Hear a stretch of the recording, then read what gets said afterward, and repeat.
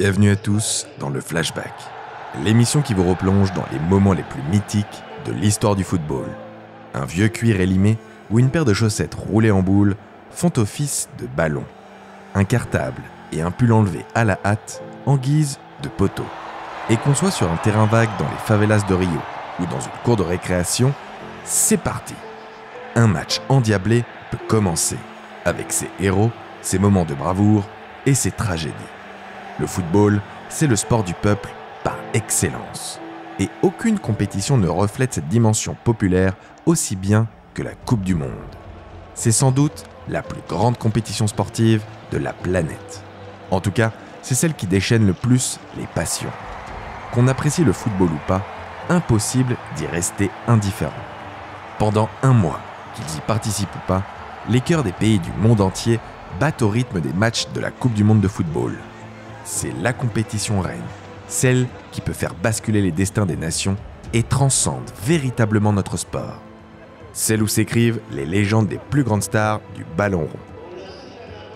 Aujourd'hui, on va vous raconter l'histoire d'une Coupe du Monde unique. Ce n'est peut-être pas la plus connue, mais c'est assurément la plus folle.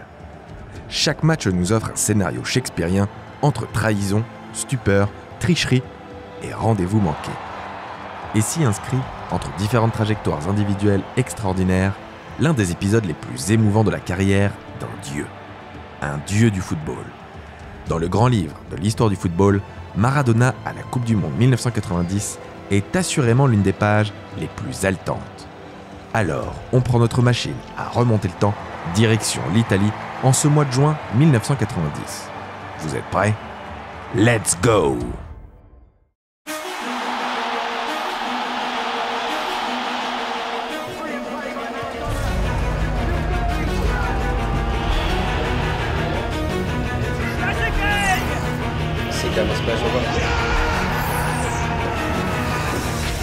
Alors pas ça, pas aujourd'hui, pas maintenant. Oh, il est très loin de la cage de Casillas, c'est parti pour Juninho oh But it's Messi, it's Iniesta!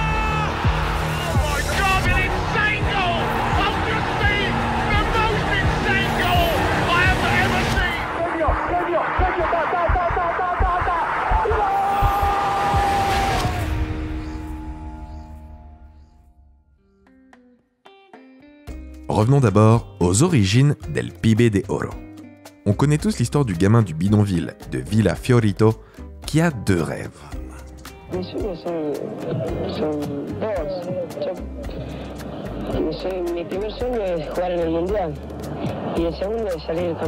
Le premier, participer à une Coupe du Monde.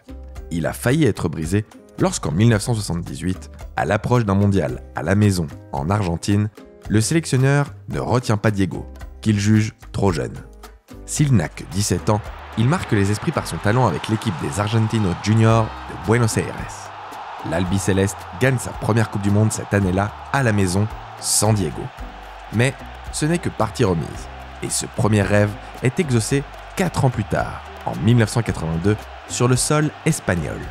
Il arrive au mondial comme un joueur de Boca Juniors et en repartira en Blaugrana puisqu'il signe au FC Barcelone durant la compétition. Les Barcelonais ont hâte de voir leur prodige, mais celui qui détient le record de transfert pour l'époque déçoit. Difficile deuxième de leur poule, les Argentins se qualifient pour le deuxième tour, mais chutent d'abord contre l'Italie, puis contre le Brésil, où Maradona est exclu lors de leur dernier match. Trois matchs joués à Barcelone, trois défaites pour l'Argentine, comme un symbole. Le second rêve de Dieguito, c'est de remporter une Coupe du Monde. Quatre ans après l'Espagne, l'Albiceleste se présente au Mexique. Maradona est devenu capitaine dans son pays et idole absolue à Naples, en Italie, où il fait des miracles depuis sa signature deux ans auparavant. Première de son groupe, l'Argentine élimine l'Uruguay avant de se confronter aux Anglais en quart de finale. Dans ce qui est peut-être le match le plus historique du XXe siècle, Diego marque par deux fois. D'abord avec sa main de Dieu,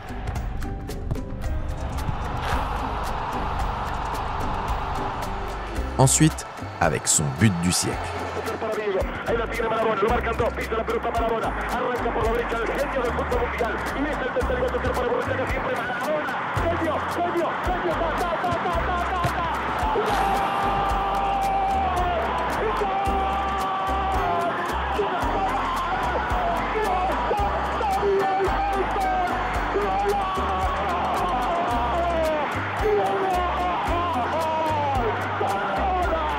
Mais c'est une autre histoire. Un nouveau doublé contre la Belgique envoie son pays en finale contre l'Allemagne de l'Ouest. Plus de 110 000 personnes assistent à un match spectaculaire. La Mannschaft égalise à la 83e minute, de partout. Mais c'est Diego qui scellera le sort de ce match et ce mondial par une passe décisive. Une passe divine.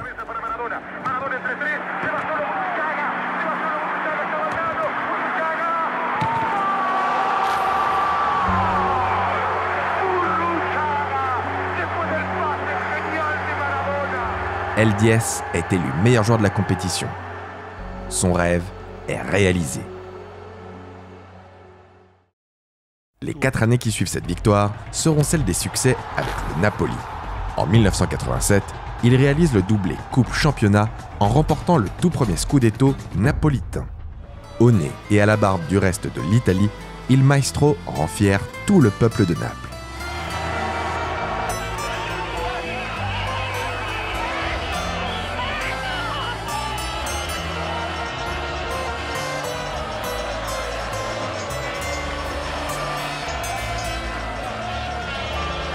Met aussi son club sur le toit de l'Europe avec une victoire en Coupe de l'UEFA en 1989. Il reçoit la note rarissime de 10 sur 10 de la Gazzetta dello Sport pour sa performance en finale. Après ce match, son envie de quitter Naples, où il est un véritable demi-dieu, est de plus en plus grande. Il le dit devant la presse. Je n'ai plus la tête à jouer en Italie.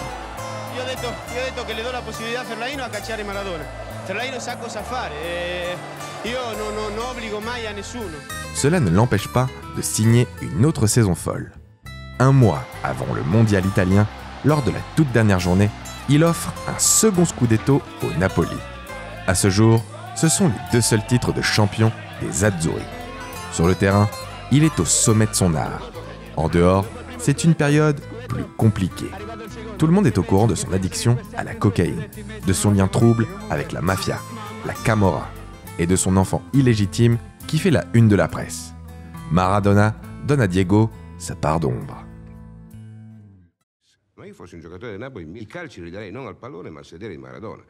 Gusto.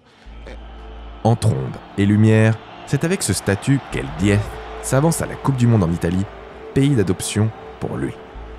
Si vous avez suivi, vous savez que l'Argentine est championne du monde en titre et donc qualifiée automatiquement. Heureusement d'ailleurs, car l'équipe n'est pas dans la forme de sa vie.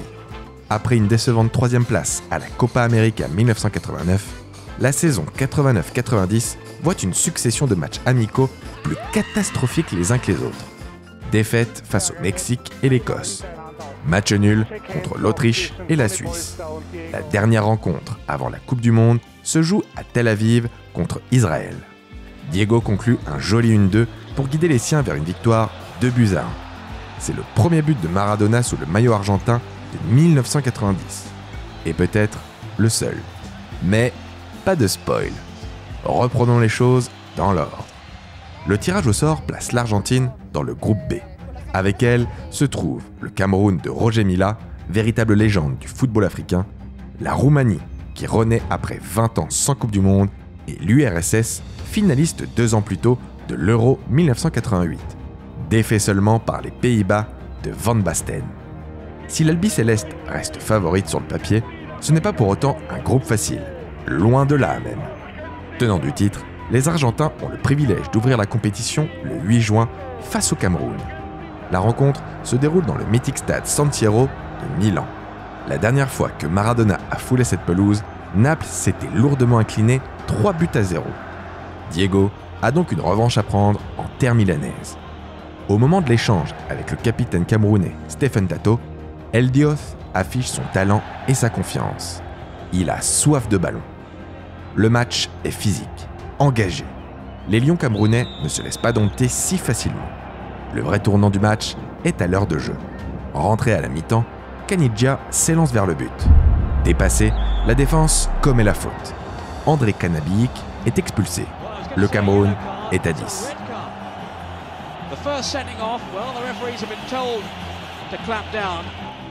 Le moment de gloire arrive 6 minutes plus tard, lorsque son frère François Omanbiik marque d'une tête rageuse à laquelle personne ne s'attendait. Surtout pas le gardien argentin. 1-0.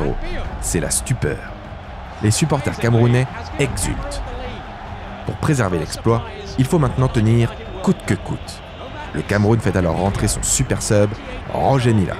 À 38 ans, il ne devait pas participer à la compétition. En pré-retraite, il coulait des jours heureux dans le club amateur de la JS Saint-Pierroise à La Réunion. C'est le président camerounais en personne qui le convainc de rejoindre les Lions pour apporter son aura à toute l'équipe. Il marquera la compétition de son empreinte. Mais revenons au match. Alors qu'il ne reste que deux minutes à jouer, Kanidja, toujours lui, se lance dans un raid solitaire. Impressionnant, il semble presque inarrêtable, jusqu'à croiser la route de Benjamin Massing. Son tacle sur l'Argentin est un sacrifice pour son équipe. Il y perdra sa chaussure et le droit de rester sur la pelouse puisqu'il est expulsé immédiatement par l'arbitre. Solidaire, engagé et jusqu'au boutiste, cette action résume la mentalité du Cameroun. Réduit à neuf, ils tiennent et ne passent pas loin du chaos. L'arbitre siffle la fin du match dans une effusion de joie. L'outsider vient à bout de l'ogre argentin sous les yeux ébahis du public milanais. La suite de la compétition sera historique pour les Lions indomptables. Premiers du groupe, ils vont en prolongation contre la Colombie en huitième de finale avant d'être sauvés par leur vétéran Roger Mila. Le vieux lion inscrit ses troisième et quatrième buts du tournoi pour qualifier le Cameroun au rythme de ses pas de danse endiablés. C'est assurément l'une des stars du mondial. Il chute in extremis en quart de finale face à l'Angleterre, concluant l'un des plus beaux parcours du football africain. Mais revenons à nos Argentins, beaucoup moins en fait. Pour la première fois depuis 11 matchs en Coupe du Monde, leurs attaquants restent muets. Carlos Bilardo, qui entraîne l'Argentine depuis 1983 et a connu le succès mondial, est furieux. Si nous sommes éliminés en phase de poule, j'espère vraiment que notre avion s'écrasera avant d'atterrir en Argentine. Au pays, le football est plus qu'un sport. C'est une religion. Les supporters ne leur pardonneraient sûrement pas une telle humiliation. Pour leur deuxième match contre l'URSS, Maradona a rendez-vous chez lui, au Stadio San Paolo de Naples. Les tifosi ont choisi leur camp. Ils seront évidemment argentins. Avant la rencontre, Diego semble toujours confiant et n'oublie pas les joueurs absents du mondial. Mais le sort semble s'acharner. Dès la 11e minute, leur gardien, Neri Pumpido, titulaire indiscutable, se fracture gravement la jambe et doit être remplacé. À 32 ans, il ne rejouera plus jamais pour la sélection albicéleste. Son remplaçant, Sergio Goicochea, est jusque-là inconnu. Il ne compte que deux sélections en amical pour 5 buts encaissés. Un bilan peu glorieux. Mais n'est-ce pas le propre des Coupes du Monde de révéler ce genre de héros improbable? Ce n'est pas Guillermo Ochoa qui dirait le contraire, mais on y reviendra plus tard. Vous vous souvenez de l'action la plus litigieuse de l'histoire du football? Ce but de Maradona contre l'Angleterre, 4 ans plus tôt? Cette fameuse main de Dieu? Ce jour-là, à Naples, elle était également de sortie. Alors que le score est encore vierge, Diego balle qui file droit au but de la main. La droite cette fois-ci. Pas de jaloux. Encore une fois, personne n'a rien vu. Et le match reprend son cours comme si rien n'était. À la réception d'un centre, le défenseur Pedro Troglio place une tête au fond des filets soviétiques.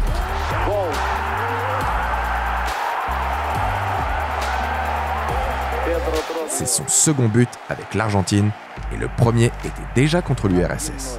Un soviétophile, ce Pedro. Au retour des vestiaires, le latéral Volodymyr Bechonov est expulsé par l'homme en noir. Et devinez sur qui il fait faute. Kanidja, évidemment. Sur une grosse mésentente, Boruchaga double la mise à 10 minutes de la fin.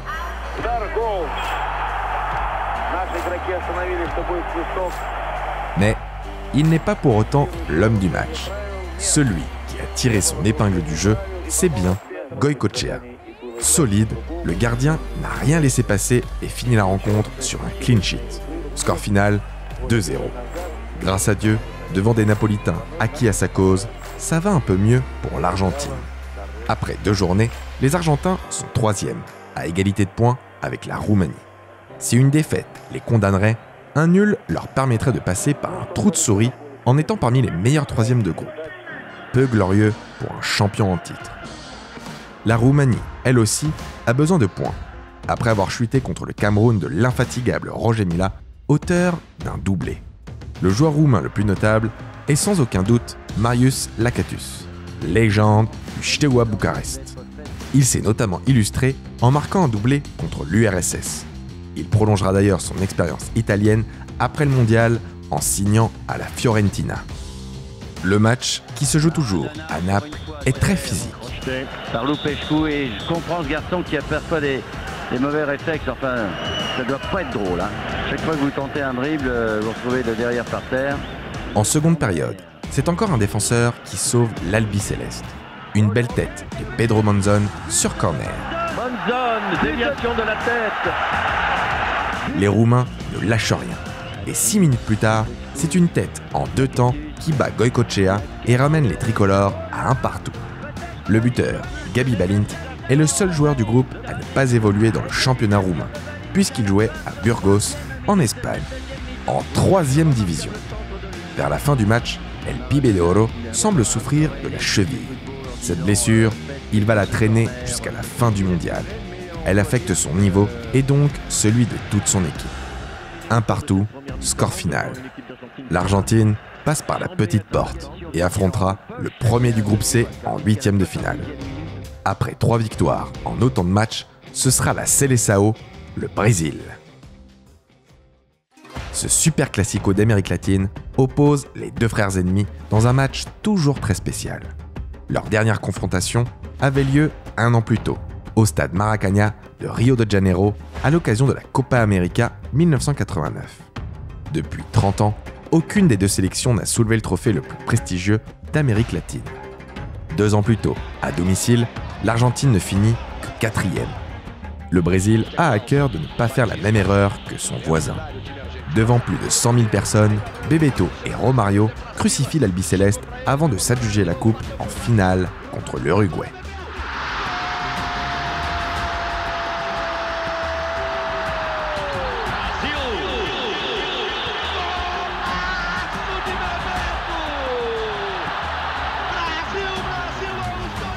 Malgré ça, ce Brésil ne traverse pas vraiment un âge d'or. Depuis la retraite du roi Pelé en 1971, le jeu et les titres manquent cruellement. Pour les retrouver sur le toit du monde, il faut remonter 20 ans en arrière lors du glorieux mondial 1970. Leur dernière demi-finale remonte, elle, à 1978. Depuis, plus grand-chose. Mais en ce 24 juin 1990, au stade des Alpes de Turin, l'équipe en confiance est bien brésilienne. Et cela se ressent sur le terrain. L'attaque brésilienne, emmenée par Muller et Careca, est en forme. Mais les poteaux semblent protéger les Argentins. Les poteaux. Et surtout, un excellent Goicochea. Impérial sur sa ligne, il réalise là le match de sa vie. Avec lui, rien ne semble pouvoir arriver à l'Albiceleste. Tant mieux, car Diego, lui, n'est clairement pas dans une forme olympique. Sa cheville gauche le fait toujours souffrir, au point qu'il doit jouer ce match sous infiltration. Et puis, il n'est plus à Naples. Le public de Turin ne se prive pas de le lui rappeler d'ailleurs, en le sifflant allègrement, lui, l'enfant du Sud. Il est tenu fermement par la défense brésilienne, notamment par le rugueux Branco. 0-0 à la mi-temps. L'Argentine reste dans le match, mais elle a eu chaud. Le deuxième acte est toujours en faveur de la Seleção, mais Branco semble beaucoup moins en jambes. D'après ses mots, il se sent fatigué, lourd, au ralenti, et il a une idée très précise pour expliquer son état. Cinq minutes avant la mi-temps, l'Argentin Troglio est au sol et se fait soigner. Un des coachs donne alors une bouteille à Maradona. Celui-ci n'en boit pas une goutte, mais dans la chaleur de Turin, en propose à son vis-à-vis qui accepte volontiers. Diego rend la bouteille à son coach qui disparaît avec. Branco ne se sent soudain pas très bien et il dira plus tard que le goût de l'eau lui a semblé bizarre. Il soupçonne quelque chose, mais personne n'y prête vraiment attention alors, jusqu'en 2005. 15 ans plus tard, détendu dans une émission de télé argentine, Maradona avoue qu'il savait que cette bouteille contenait des tranquillisants à destination des joueurs brésiliens. Le scandale, dit de l'eau bénite, renaît de plus belle. Cela dit, rien ne prouve que ces paroles soient fondées. Cette histoire ne donnera d'ailleurs lieu à aucune réelle sanction, bien qu'elle fasse énormément parler. Elle reste pour toujours ancrée dans la grande mythologie du football. Mais revenons au terrain. Le match est toujours fermé. Le score nul est vierge à 10 minutes de la fin. Pour le déverrouiller, il faut donc un exploit individuel. Un exploit dont Diego le secret. Du rond central, il élimine un à un les milieux brésiliens grâce à sa technique, puis s'engouffre dans la défense et dépose le ballon à Canidja seul. Celui-ci contrôle, contourne le gardien et pousse le cuir dans le but vide pour qualifier son pays. Les Auri Verde sont dépités. Peut-être méritait-il de gagner ce match. Quoi qu'il en soit, c'est la quatrième et dernière fois que les deux nations s'affrontent en Coupe du Monde. En 82, le Brésil avait disposé des Argentins avant de chuter contre l'Italie, championne du monde cette année-là. À domicile, cette fois-ci, l'Italie aimerait bien voir l'histoire se répéter en faisant tomber le vainqueur du Super Classico. Mais patience, nous n'en sommes pas encore là. C'est l'Irlande que les Italiens affrontent en quart de finale. Pour les Argentins, ce sera la Yougoslavie. Non qualifiés pour l'édition 1986, les Yougoslaves n'en demeurent pas moins une grande équipe. Leur histoire ne peut être séparée de l'histoire politique des Balkans. En 1980, le maréchal Tito décède après 27 ans de règne. Le début de la fin dans une fédération où émergent petit à petit des revendications nationalistes des différentes républiques, en Serbie, en Bosnie ou en Croatie. Après l'échec de 86, c'est Ivica Osim qui est nommé à la tête de la sélection. Il doit composer avec des joueurs de différentes nationalités et surtout trouver une cohésion de groupe. Parmi ces grands noms, on compte Safet Suzic, le bosnien star du Paris Saint-Germain, Tomislav Ivkovic, le gardien croate, ou encore le serbe Dragan Stojkovic, surnommé le Maradona des Balkans. Sur le terrain, l'alchimie semble fonctionner. La Yougoslavie finit même première de son groupe de qualification en éliminant la France entraînée par Michel Platini. Excusez du peu. Après une défaite inaugurale 4-1 contre l'Allemagne, les Brésiliens d'Europe, comme on les surnomme, se qualifient avec des victoires face à la Colombie et aux Émirats arabes unis. Le huitième contre l'Espagne est tout simplement épique. Après un match terne, le scénario s'emballe dans le dernier quart d'heure. Les Bleus ouvrent le score et la Roja répond quasi immédiatement. Un partout après 90 minutes. En prolongation, il faudra au moins un Maradona pour délivrer les Yougoslaves. Stojkovic fait honneur à son surnom. D'un coup franc somptueux, il qualifie les siens, délivre son équipe et peut-être même plus. Alors que le pays est à feu et à sang, cette qualification dépasse largement le rectangle vert. Pour la dernière fois de l'histoire, le mot yougoslave retrouve peut-être un sens, du moins pour un temps. À Florence, Stojkovic et les siens retrouvent l'Argentine d'un autre Maradona, l'original. Sa cheville le fait toujours souffrir.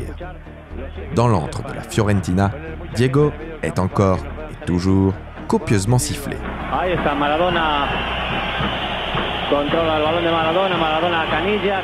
Sous la chaleur toscane, les Yougoslaves prennent l'avantage dans le jeu.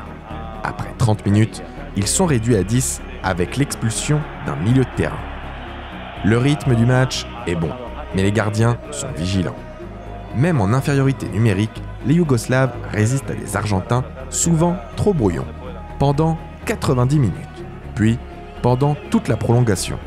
Le sort de deux pays va se décider au tir au but. La tension est insoutenable. Pour Ivica Osim, le coach serbo-croate, les pénalties n'ont rien à voir avec la tactique. C'est le destin, uniquement, qui décide du vainqueur. Il souhaite bonne chance à ses joueurs et quitte le stade. C'est au capitaine, Safet Suzic, de choisir les tireurs. Dans cette séance, il n'y a qu'une seule certitude, l'identité des gardiens, Goicochea et Ivkovic. Ce dernier encaisse le premier pénalty argentin de Sirizuela. Puis Stojkovic s'élance pour égaliser. Mais sa frappe trop puissante s'écrase sur la transversale. Boruchaga et Prozinecki réussissent. 2-1 pour l'Argentine quand Diego se présente face au but. Maradona contre Ivkovic. C'est en fait le deuxième round de leur face-à-face. Le premier a eu lieu neuf mois plus tôt, en Coupe de l'UEFA. Le Naples de Diego, tenant du titre, et le Sporting Portugal d'Ivkovic n'arrivent pas à se départager et vont au tir au but. Alors que Maradona place son ballon, le Croate s'approche et parie 100 dollars qu'il l'arrêtera. Diego prend évidemment le pari et perd 100 dollars du même coup. Après le match, il tient évidemment sa promesse et Ivkovic rentre dans la légende comme le gardien qui a stoppé Maradona. À Florence, Diego connaît l'enjeu et ne cède pas à la pression. D'un geste de la main, il refuse même un nouveau pari avec le gardien. Cela ne l'empêche pas d'échouer une seconde fois, avec un tir bien loin de ses standards. Dans le duel Maradona-Ivkovic, c'est bien le portier qui l'emporte et Diego rejoint les siens sous les sifflets d'un stade, ravi de son échec. La séance se poursuit. Savicevic égalise, puis Troglio et Bornovic ratent leur tir. De partout. Dezzotti réussit pour mettre l'Albi Céleste devant. Adi Bejic s'avance, le destin de son pays au bout du pied. Cependant, le héros du match, ce n'est pas lui, ni même Maradona, mais bien Sergio Goycochea. Le gardien s'élance du bon côté et parvient à stopper le tir pour qualifier l'Argentine. Côté yougoslave, plus rien ne pourra empêcher la dislocation de l'équipe et du pays. Deux heures plus tard, l'Argentine connaît son adversaire, l'équipe à domicile, la Squadra Azzurra, l'Italie. Le rendez-vous est fixé en demi-finale au Stadio San Paolo, le stade de Naples, le stade de Maradona. Pour les journalistes, c'est une erreur monumentale de ne pas avoir anticipé le scénario du match Italie-Argentine à Naples. Le destin en a décidé autrement. El Pibe de Oro a bien conscience de l'enjeu. Pour lui, les tifosi napolitains devraient se ranger du côté de l'Argentine. Sei anni della mia vita qui a Napoli. Credo che la gente ormai mi conosca bene e farà, farà il tifo per la mia nazionale. Cette affaire dépasse le ballon rond. Naples reste une ville italienne. Qu'importe les tensions avec les régions industrielles du Nord? La cité au pied du Vésuve se divise entre les pro-Diego et les pro-Italie. Le 3 juillet, les 60 000 personnes présentes dans le stade ont choisi leur camp. Maradona, Naples t'aime, mais l'Italie est notre pays. Ce match, c'est le choc des titans entre les deux derniers vainqueurs de la compétition. L'Italie est encore invaincue et ses cages sont inviolées. Rarement aura-t-on vu une telle défense de fer. Peu de monde donne du crédit à une Argentine peu convaincante et presque miraculée à ce stade de la compétition. Le match est intense et dès la 17e minute, le meilleur buteur de la compétition, un Toto Schilacci opportuniste, reprend un ballon mal dégagé par Goycochea. 1-0. L'Italie file vers son destin. Maradona tente, mais rien n'y fait. Comme à son habitude, l'Italie ne marque pas beaucoup. Un but de plus que son adversaire lui suffit amplement. Mais ce soir-là, l'Argentine réalise peut-être sa meilleure prestation du mondial. Caniggia s'élève alors plus haut que tout le monde et trompe Walter Zenga, le portier de l'Inter. Un partout, prolongation. Les Argentins perdent un soldat avec l'expulsion de Ricardo Giusti à 20 minutes de la fin. Mais ils tiennent, comptant sur un Goycochea héroïque. Une fois de plus, le sort se joue au penalty. Les Italiens tirent en premier avec Franco Baresi. 1-0. Serizuela égalise dans la foulée. La série est prolifique. Les gardiens partent souvent du bon côté, effleurant parfois la balle, mais rien n'y fait. Roberto Baggio et Boruchaga montent le score à deux partout. La tension dans le stade est immense. Les Italiens veulent croire à leur finale. Elle leur tend les bras. De Agostini s'élance, puis Olartico Echea. Trois partout. Donadoni s'avance, et le commentateur italien le dit. Attention, ce n'est pas un spécialiste. Surtout quand il a en face de lui un héros comme Goycochea qui s'étire parfaitement. Les Italiens posent un premier genou au sol, puis s'élancent d'un pas calme El Dios, celui qui a fait rêver les supporters napolitains. Maradona, pour la première fois, est sifflé dans sa maison du San Paolo. Triste spectacle. Il n'aura fait trembler les filets qu'une seule fois dans ce mondial. Et c'est pour condamner les Italiens.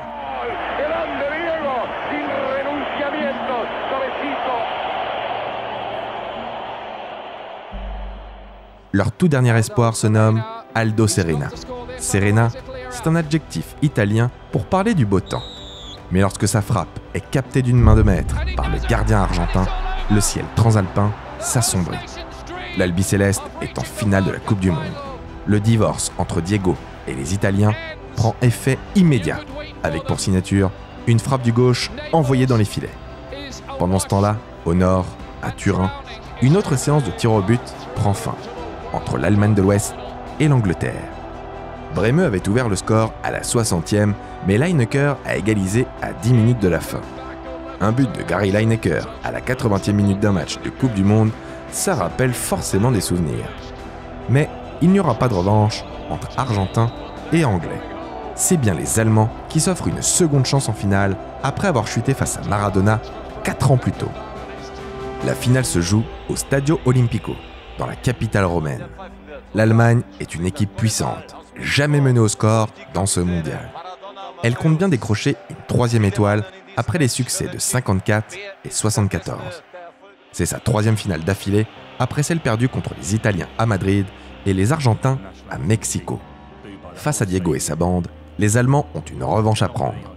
L'équipe est emmenée par son capitaine Lothar Matthaus, le libéraux de l'Inter, par la tignasse blonde de Rudi Voller l'attaquant de la Roma, ou encore par Andreas Breme et Jürgen Klinsmann, eux aussi interistes.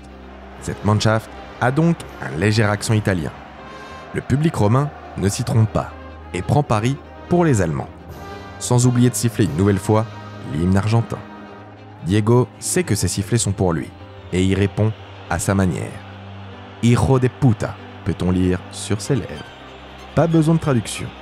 Le numéro 10 bouillonne. Sa cheville le fait toujours souffrir. Tout le monde sait qu'il n'est pas à 100%, son équipe non plus, à cause des suspensions des titulaires que sont Batista, Giusti, Olarti Coechea, et surtout celle de Caniggia, le sauveur de cette albicéleste depuis le début de la compétition. Le coach Bilardo doit bricoler. Il titularise des joueurs avec peu d'expérience en sélection, comme Dezzotti ou Sensini, qui n'a joué qu'un bout de match contre le Cameroun. Sur le terrain, la finale est décevante. La RFA manque de tranchants en attaque. Tant qu'à faire, les Argentins enchaîneraient bien une troisième séance de tir au but, exercice qui jusqu'alors leur a plutôt bien réussi. 0-0 à la mi-temps. Le défenseur Ruggeri se blesse, remplacé par Monzon. Les Argentins ne sont pas loin de craquer. Après 20 minutes en seconde période, Monzon s'en va tacler Klinsmann les deux pieds décollés. Exclusion immédiate. Le début de la fin. À 5 minutes du terme de la rencontre, l'Albi Céleste croit tenir la prolongation lorsque la course de Voller est coupée dans la surface par Senzini. Penalty. Les Argentins contestent violemment devant l'arbitre. Maradona en tête. Rien n'y fait. Andreas Breme prend possession du ballon.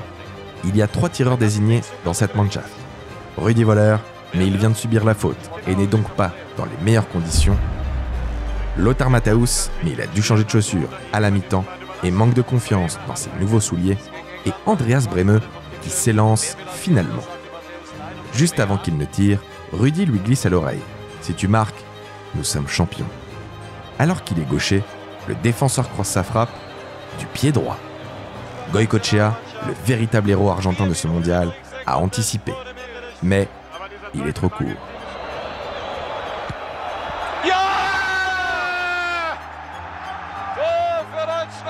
1-0 pour l'Allemagne. Les coéquipiers de Bremeux lui sautent dans les bras. Ils le savent. Ils vont être champions du monde. Deux minutes plus tard, Dezzotti parachève le calvaire argentin. Il est exclu pour un deuxième carton jaune. À 9, l'Argentine de Maradona s'incline. C'est la première équipe qui ne réussit pas à marquer en finale d'une Coupe du Monde. Maradona n'a pas fait un bon match. Et surtout, il n'a pas pu empêcher la défaite des siens. Diego, c'était le football. C'était le jeu, dans sa manière la plus simple et la plus élégante. En dehors du terrain, c'est aussi une légende, un demi-dieu parmi ses fidèles, son église et ses profanateurs. Car Maradona, c'est aussi les frasques et les dérapages, sur et en dehors du terrain. Lorsqu'on pense au numéro 10 foulant les pelouses d'une Coupe du Monde, on pense tout de suite à l'aventure de 1986. Quatre ans plus tard, Maradona a 30 ans lorsqu'il participe au Mondial en Italie. Cette Coupe du Monde, c'est un tournant dans la carrière du Pibe de Oro. Il y joue toutes les minutes de tous les matchs, mais ne réussit pas à insuffler à son équipe l'esprit de la victoire. Diego a montré qu'il était encore un joueur de talent, et le fantôme Maradona prend une part de plus en plus importante. Après ça, il va connaître la chute à Naples. En mars 91, il est contrôlé positif à la cocaïne.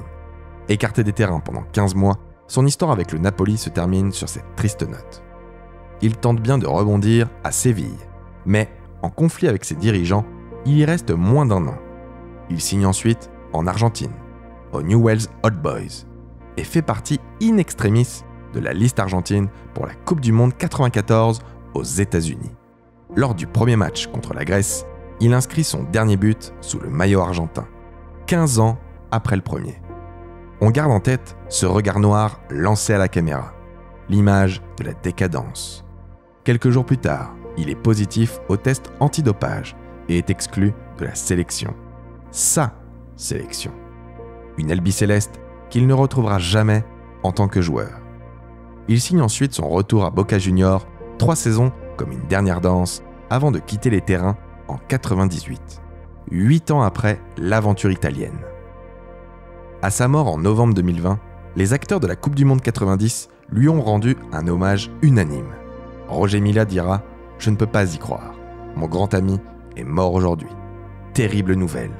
Reste en paix, légende. Pour Rudy Voller, Diego était un artiste, une superstar que l'on pouvait toucher. Un des hommages les plus émouvants est celui du héros de 1990, le gardien Sergio Goycochea, en larmes à la télé argentine. Lorsque j'ai vu Diego dans son cercueil, je n'ai pas pu y croire. C'était une partie de ma vie. Cette Coupe du Monde en Italie est loin d'être la meilleure, pour Maradona ou dans l'absolu. Mais elle aura marqué l'histoire, pour ses anecdotes folles, ses résultats sportifs inattendus, ses destins brisés, son histoire inoubliable. C'était un dieu du football, El Pibe de Oro, Diego Armando Maradona. Les surnoms pour parler de Diego sont légion. Sa technique en a fait l'un des plus grands footballeurs de toute l'histoire, si ce n'est le plus grand. Sur le terrain, il dansait, le ballon était la suite de son corps, il en faisait ce qu'il voulait. Si on ne devait retenir qu'une image de lui, ce serait celle-ci, à l'entraînement, où il s'amuse avec le ballon comme l'enfant qu'il était dans les bidonvilles de Buenos Aires. Hasta siempre, pibe.